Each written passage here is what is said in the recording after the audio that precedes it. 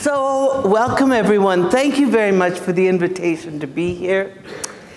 This is kind of an interesting opportunity for me because I'm I'm moving a little bit closer to the edge. I'm getting a little edgier about what's going on in our field. So you're going to hear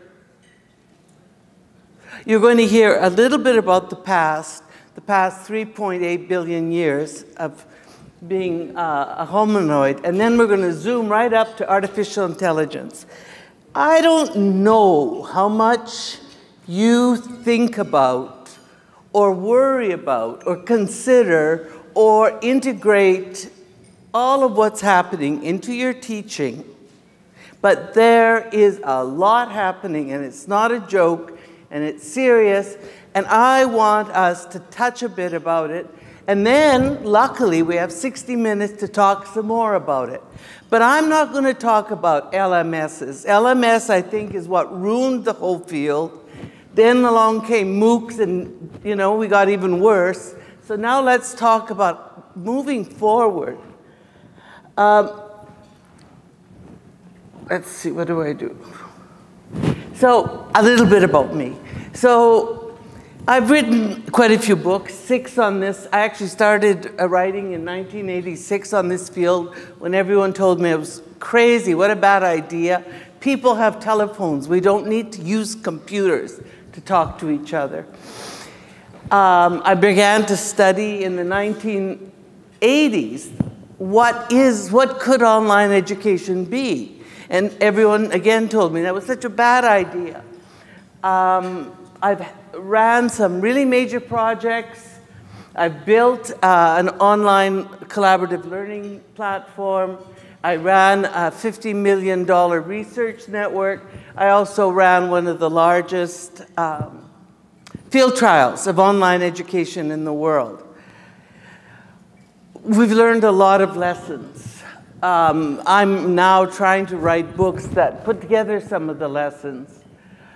But so I've written, my latest book is that one, Learning Theory and Online Technology. I think it's kind of interesting because there's a couple of chapters in there that deal with connectivism, that deal with uh, the attack of the teaching machine, the teacherless classroom. I really think you need to look at what's going on, at where the big money is going into, and it's not going into classrooms, it's not going into more teachers is going into fewer teachers. And we've got some real issues.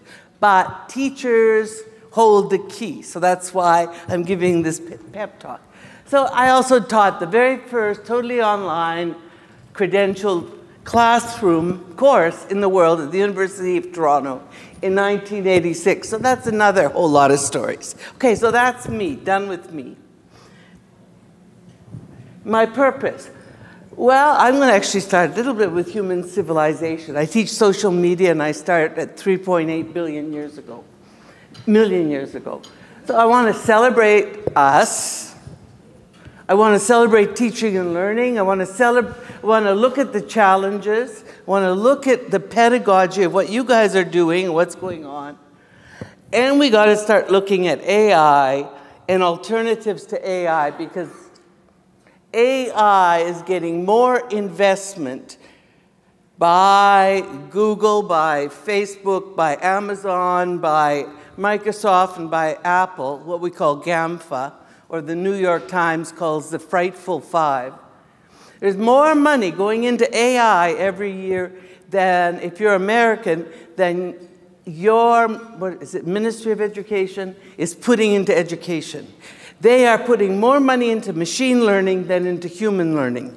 And these are really serious issues because they are a huge threat, not just to teachers, but to the whole race. So, okay, so essentially, hominids started 3.8 million years ago, and then by about 200,000 years BCE, Homo sapiens came. Now, I don't know what you your definition is of men and women, but the cognitive anthropology, the official definition of what distinguishes humans from other great apes is that we are intentional collaborators. We're not competitors.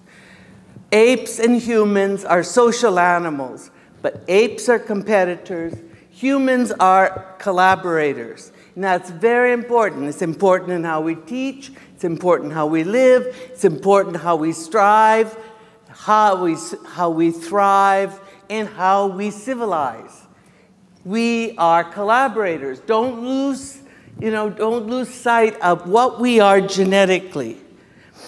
And that, that we survived because we collaborate, because our kids were all dying, because as we, well, anyway, it's a long story, but as we started walking, we could no longer birth children when they were ready to um, survive. So we had to birth them at a very young age, and then we had to take care of them. And then, as a result, we began to learn speech later writing, printing press, we began to develop education, technology, and knowledge system. It came from, as we went from down here to up here, our changes.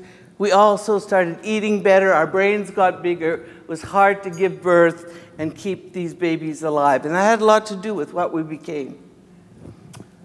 Okay, so just briefly, what is human civilization? Well, our collaborative intelligence revolution and speech were sort of like they came together and they flipped us into a new world. They flipped us into a world where we began to live in communities and states. Agrarian revolution, we started making a surplus, so we started selling grain and cattle. And if I'm going to sell Kurt a, a bag of grain and I want a goat, Kurt has to put the name Kurt on the goat, and my bag of grain has Linda so that we can make sure that, you know, we get, that's how writing came from, from business. And then we moved up into, biz, into printing, and that was boom. Once we began to print cheaply, people got to read. People became knowledgeable. The year that the printing press came out in Europe, one million people learned to read, and that was after the bubonic plague. As soon as we got reading, we create, had a science revolution, enlightenment, American Revolution, French Revolution, all men are equal, Industrial Revolution, and boom, the AI, internet. We're at a crossroads because we're at a crossroads where technology is now about to take over. Either we're going to have a knowledge revolution or we're going to have an automation revolution. So here we are. Here we are, cute little people, and we're just bouncing along from whatever, 3.8 million years ago, and that's us right now. We're just hang, you know, hanging out, la la la. That's a long way to walk. I have to keep, I'm to stand here. Um, and then we start developing this tech, we start developing computers. And Marvin Minsky in the 1950s said, you know what? People are lame. We don't like biology. We don't like meat. People are not efficient. We need technology to be more efficient, and he's the father of AI. So now AI starts growing up, but meanwhile, here we are, cute little human up at the top, still giggling, oh, these machines aren't going to be anything, they're not a threat, look at their cute little ants and monkeys and blah, blah, blah. So that's our view. Some of us may still have that view. If you haven't read the New York Times or the Guardian as of this morning or anything, you probably still think the world is like that. However, we are very close to a tripwire, and this is not a joke. This is, this is science. A tripwire is when human intelligence becomes overcome by artificial intelligence. And we're really coming close to that. Computer performance is about to outpace human. And that may happen in 2025, 2029, 2045, depending on what. But it's happening. It's happening. Your grandkids are going to be part of it. Your students are part of it. So we're at some really serious places. And when, because we have this um, intelligence that keeps multiplying, keeps multiplying, it's zooming up. Humans are like this, we grow slowly. With artificial intelligence, it's doubling every six months, every three months. And all of a sudden, one day, it's going to go past us and we cease to become important we become the ants of the planet. Because who runs the planet is intelligence. It's not power, or else it would be gorillas or elephants. It's not speed, or it would be, I don't know. It's intelligence. And as soon as there's a species that's smarter than us, we cease to have a role. So we've got to think exponential growth. And there's a whole bunch of guys in Google and in, and in uh, Facebook. They're really into creating computers that are smarter than people. That's their whole MO. So now what are we going to do? Okay, some, this last time I'll walk over, but what you see here is around the turn of the 20th century, we began to have AI. And if you look at 2000 or 2020, that's about where we are right now. So we're at a, a mouse brain, but we're actually at a human brain. A computer is now equal to a human brain. We call that normal um, artificial intelligence. We're, we have computers that are equal to our brains in a few more years, by 2040, according to that, if you go up, the computer intelligence will be smarter than all of humanity. And then a few seconds after that, it's too smart for us to know what it is. So this thing is, we're talking about in the next 20, 25 years. So we need to get real and start thinking this is the real world. It is not Blade Runner, it's not any of that. This is your world, my world, our students' world. So, now let's get into the so what. Do you know what the definition of artificial intelligence is? Anyone? Come on. What's AI? Does, huh? I don't think anyone does, but I think we think it means something that can think like a person. Well, it actually thinks like a person for a minute, then it decides that's too little. Um, the AI, the, the, the definition I like the most, John, is AI is defined as the computer acts alone, doesn't need any humans. And I guess it was yesterday in um, the the headlines in The Guardian was that um, knowledge producing computers are now. Now, I propose something different. I propose something called AHI, Augmented Human Intelligence, in which we're not going to stop AI. But I think we need to harness it. I think we need to control it. And I have some ideas on it. You may disagree with those ideas. We'll talk about those ideas. But I think it's essential that we address that. So the computer now acts through human intentions, not on its own. How do we get to that point? So humans are at this crossroads between AI and AHI. And I think that Teachers are at that crossroads. And I'm going to argue AI is just like MOOCs and, you know, computer-aided instruction and PLEs and adaptive learning system. All of that is stuff without teachers. No live teachers, just computers.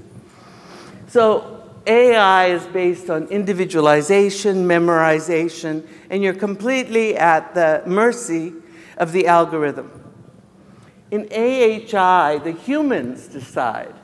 And what's really powerful there is collaborative learning, where humans work together, think, use the AI but it is part of the intentional decision making of the humans. It is not deciding human activity. Human activity is deciding what's going on. So that is my, that's where I'm throwing my, that's the star that I'm hitching my wagon to. I think we can do it. What we have to do, teachers, is start teaching kids to think and not to follow rules and not to memorize and not to spit out answers, but to think, to problem solve. We face a really unprecedented challenge. I mean, either we're going to be replaced, and we already are being replaced. Look at what's going on in the field. We're being replaced. There's a lot of teacherless courseware that's going on out there, and they make money off of it. MOOC is making, you know, just hand over fist money because there's no teachers, there's no disobedience, the kids have to do whatever the software says. There's no thinking, there's no discussion, there's nothing except spitting back the answer. So either you're going to be replaced by AI, and or you're going to have to change your pedagogy. I think we have to change our pedagogy. We really have to. First of all, it's time. And secondly, we have no choice. If we want a job and we want to retain a human planet, we better start teaching in a way that makes humans more humans and less like machines. We got to stop these lectures, stop the didactics, and start getting people learning how to collaborate, learning how to discuss, learning how to solve problems using AHI. I think you're key. I actually think of all the professions, you are the key. You are teaching the world how to think. So let's get serious about it. Let's talk about how to do our role better. Who's laughing? so here's that. Here's the crossroads. So you've got AI. Here's what AI, all this stuff, courseware, MOOCs, personalized learning environments, adaptive learning environments, all that blah, blah, blah. No teachers, no living teachers. Individualized learning. The poor student is at the mercy of the computer, of the algorithm, Edu of the correct answer, and the student has to obey. If you put down a wrong answer on the quiz, who are you going to argue with? The algorithm? Education is automated. The software is packaged. It's delivered 24 7. The grades are all auto graded by the AI. And the AI decides your future.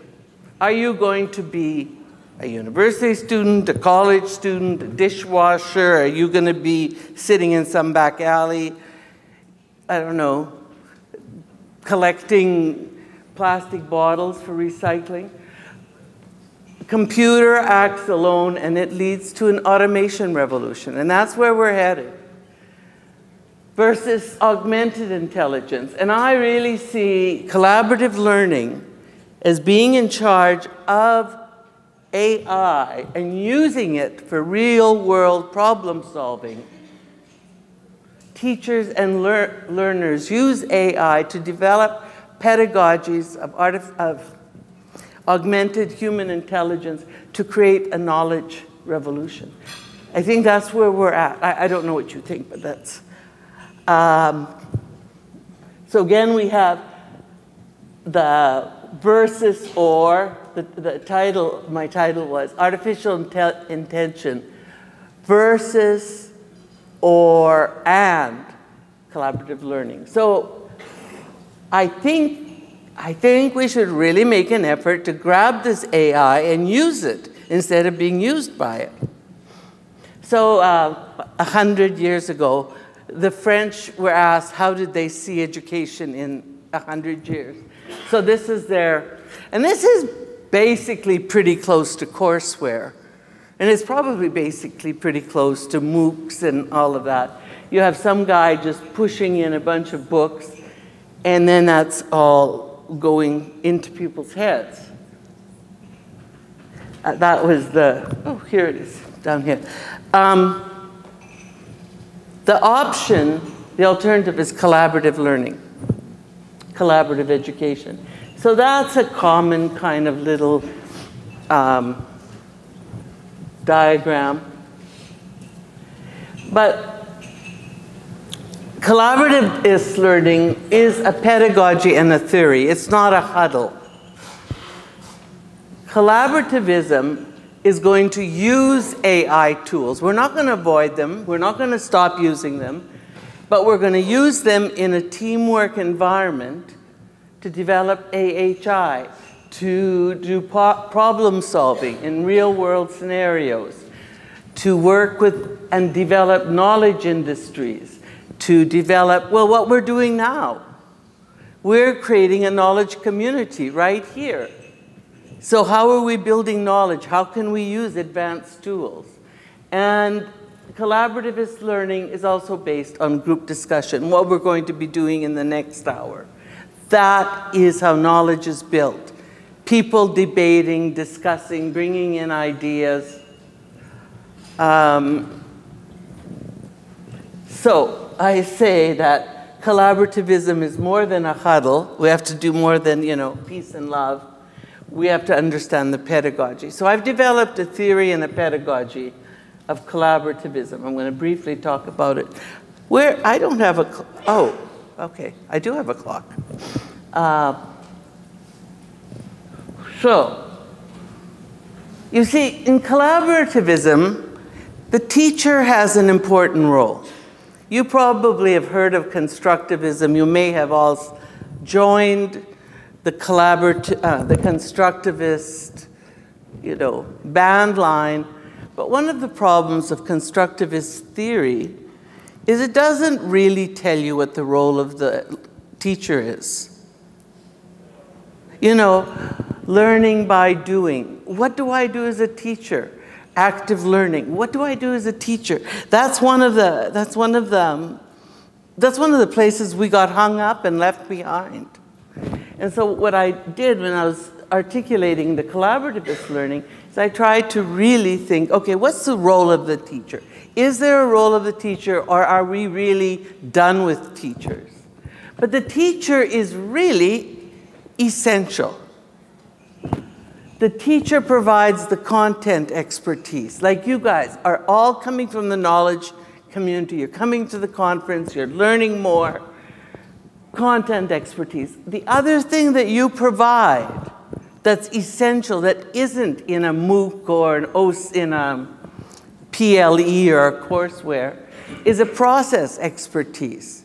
You help your student, your students get into discussion and they begin to learn to talk the talk and they learn to walk the talk.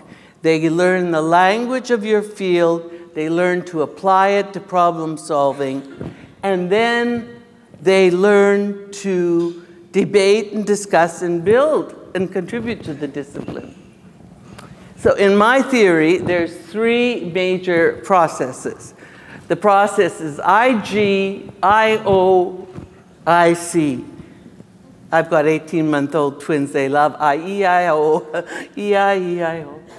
Um, so here's the three processes. And you will know these. These are not strange. Students come together and they have ideas. They don't come with empty heads. They've got ideas about what this is about. Even if it's about mathematics, they've got some ideas. So they come and they've got tons of ideas. And so the first thing they do is idea generate or brainstorm. I think it's this. No, I think it's this. No, I think. If you read the transcript, it's all I think, I think, I think. And then as they begin to read more about the field, they start to organize ideas. They say, oh, gee, I really like your idea, but I'm not so sure about your idea. And then we begin to debate. More reading, more discussion, more involvement, and we get to a point of intellectual convergence. I don't know what your definition is of learning.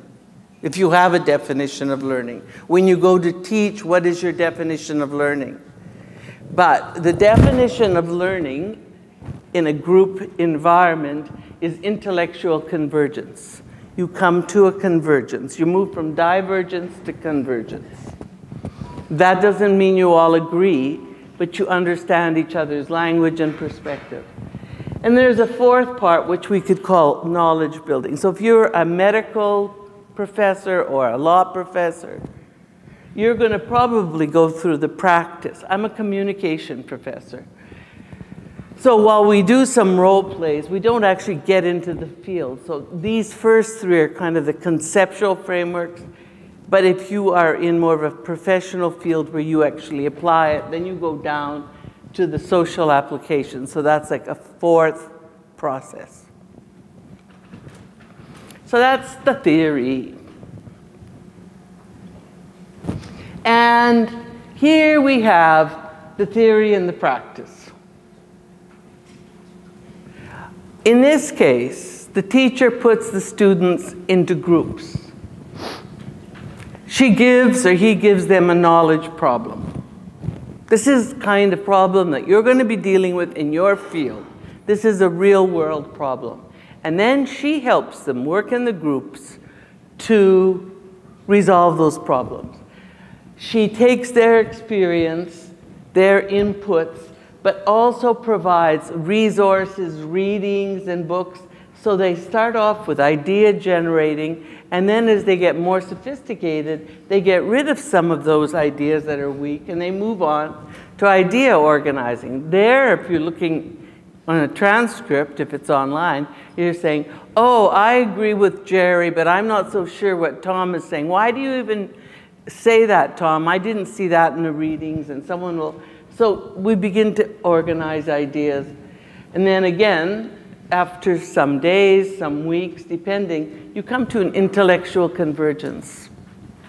So that's the theory and pedagogy of collaborativism. And, and that I do online. So online education, you see, there's two pedagogies. You have you have the cognitivist one or connectivist or whatever, the MOOC one that is basically the teacherless one, the one on the left. No live teacher, artificial intelligence controls the lectures.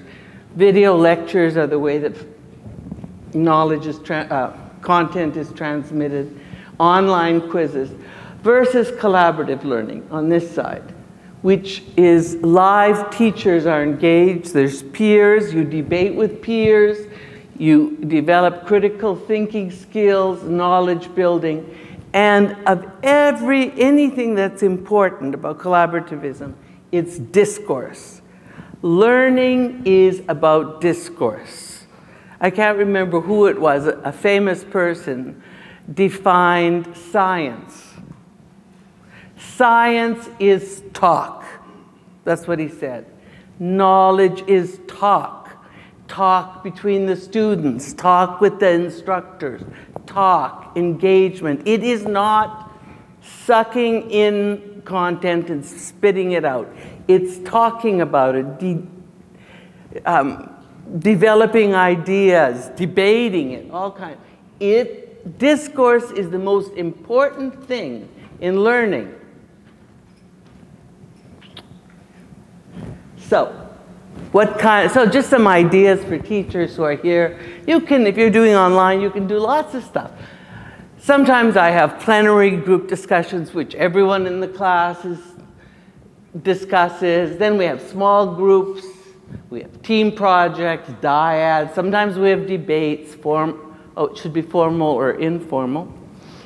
Role plays, simulations. And then there's one that I just recently wrote a handbook on. it. so if anyone wants it, email me, which is called SOS, Online Seminars. And it's really clever because in the online seminar, The students teach it, not me. so they come up with every seminar is really interesting. They do a lot of work. They come up with a lot of topics. They learn about it. And then they have to facilitate one another. So, student online seminars, SOS. So we have this, and then what I'm doing this semester we're starting to use AI tools such as augmented reality, mobile learning, VR, some virtual reality, gamification. Each of my four groups are going to tackle one of those problems. So I'm ex exploring how we can begin to use collaborative learning with um, um, artificial intelligence tools. Okay, so just briefly, where are we? Well, we've still got time. SOS pedagogy. The member, so SOS pedagogy. Students have two roles. Either, for one week, they're a member of the moderating team, and that's when they really learn how to teach and they sweat about how they're going to get the students doing the things they need, how are they going to come up with interesting discussion questions? How are they going? So they do that for one week. And then for three weeks, the students are discussants in those, in those um, uh, seminars. So one week, so for example, if you have 16, this is just a, a uh, what the hell number, 16 students, four students are moderators one week, and the other 12 are discussants, then the next four, and then the next four, and the next. So you have four seminars. So it's just a mathematical thing. You could do with three, you, you could just play with your numbers.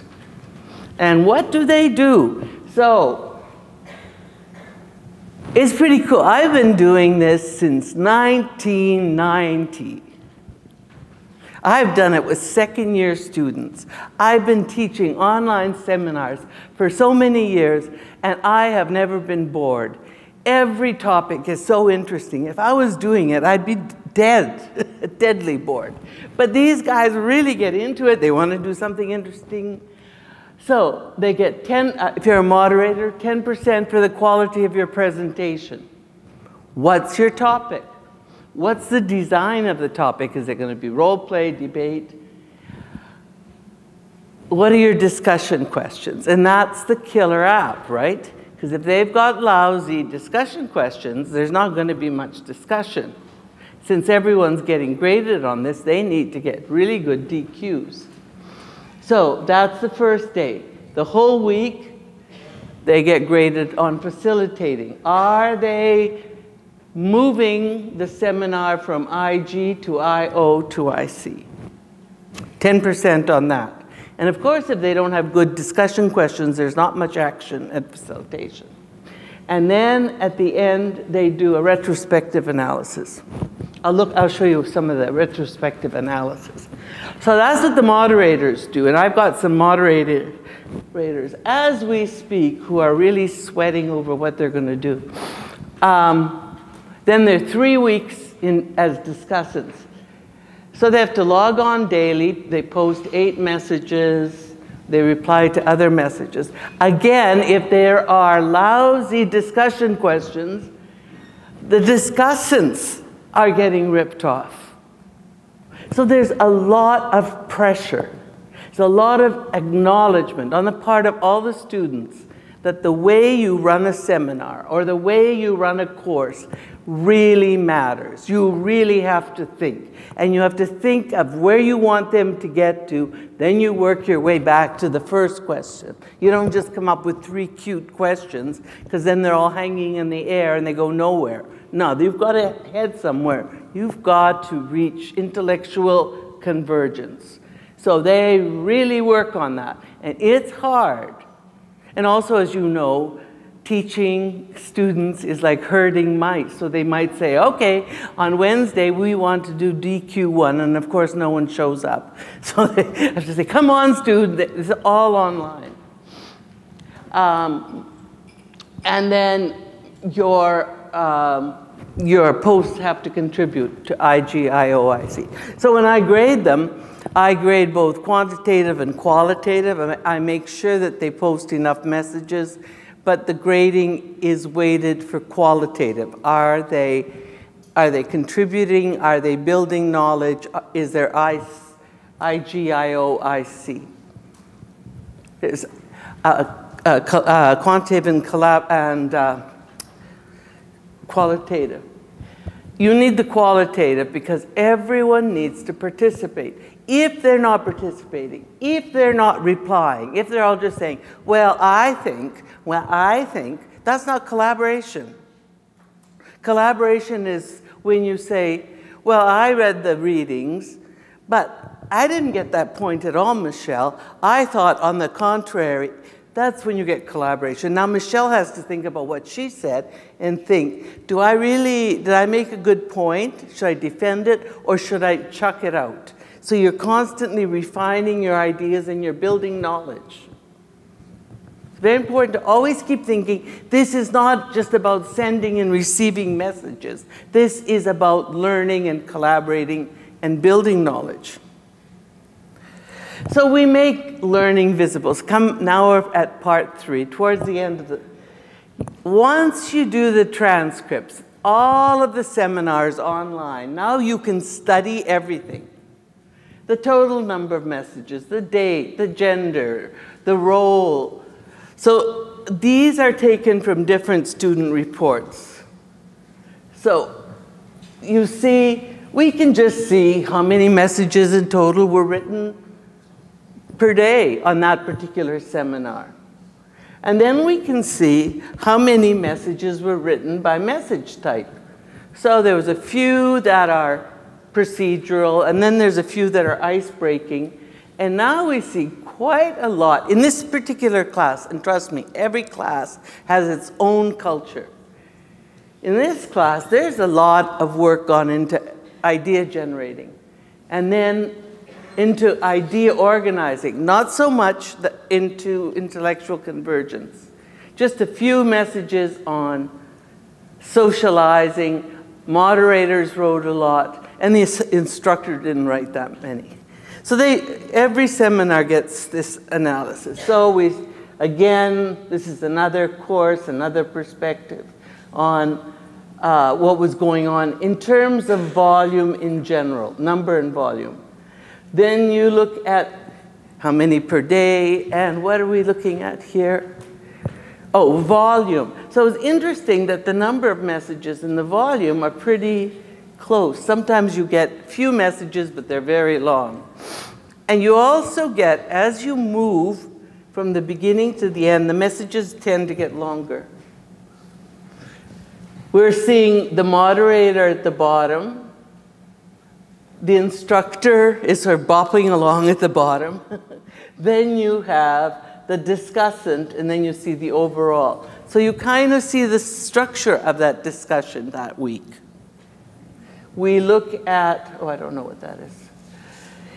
Okay, so this is for me, this is for me what's really important. This is change over time. This is learning. The first one is they get started, and the first one is idea generating, brainstorming. So you see that's the first peak. They're getting started. In this case, they're not writing so much, they're just getting into it. Then they start addressing DQ2, which is idea organizing. There's a lot of activity in DQ2. It must have been a good question. Students feel excited, they're interested, they're active. And in fact, in this particular case, intellectual convergence has also captured quite a bit of activity. And again, every course is different. They have different cultures, different, you know, interests. But what I see there is something you don't see in class. You don't see it in exams. You don't see it in quizzes. What I see is learning over time. That's learning. In this class, I can see sometimes, well, I'll show you some other ones where there's hardly anything, other times where there's way over the moon. I can see differences. But I see learning, and we have never been able to see learning happen. We have never been able to see if all of a sudden there's a big dip. We can look at the transcript. What happened? Did someone disappear? Was it a lousy question? You know, we can, as professors, we can begin to look at and see what's going on in our courses. This is a different class, they made a different, but again, the top three are change over time. And in that one, you see the most activity was in idea organizing, a little bit in idea, and then down along the bottom, the social and the procedural. But you can see it, and if there's something weird, I took out some of the weird ones because I didn't know much time, but you can go in and figure out why was it weird. Uh, you can see roles, the discussants, they are much more active than the moderators. And then you see the old instructor bopping up towards the end. But you can see things. You can see who's doing what, when, how. Okay, this is some, now here we got some interest. So this one was kind of unusual. This was gender differences every day. And you had most of the time, the women wrote more than the men, but all of a sudden on the weekend, boom, the guys rushed in to make sure they got theirs done. In the next one, what I see there is I can see what every student did, how much IG they did, how much IO, and how much IC. Like, for example, Miriam didn't go to IC um, Princess didn't do IO or IC. Like you can begin to see what each student was doing. You can see so many things. You can cut it across so many ways and look at your course and see what's going on. Oh, let's see. Female, male. Oh, okay, so this was another one that was slightly interesting to me. It was on my system, you can either add a new message or you can reply. And I said replies are important. But what I see is at the beginning, the women were doing all the posts and the guys were only replying. Towards the end, the guys started doing a lot of replies, but the new ideas were coming from the women. So, you know, you can just see like it, it's sort of like looking at the body. You can really see the anatomy of learning. All right. So there we go. That is the collaborativist learning theory and pedagogy. If AI wins, we're going to be an automated planet. If AHI wins, we will have a knowledge revolution and humans will smarten up. Whoops, what happened? So, so you can say to your students, you're the result of 3.8 year, billion years of evolution. Act like it. it's time we smartened up and stopped being, you know, lame. And also, uh, Leonardo da, uh, da Vinci talked about we need to study the science of art and the art of science. We need to get smarter. We need to use our heads better. We need to be thinkers and not just copiers. Um, so thank you. This is the book. It just came out. Uh, a lot of this stuff is in uh, two of the chapters. It took me a while to think about how to deal with AI and stuff. That's my... Um, email, and if you want the handbook of SOS, I, am happy to send it to you. Oopsie. And then teachers, do what robots can't. They can't teach students to learn and to think. We can, let's do it. And let's create a knowledge society. So thank you, and it's right on time.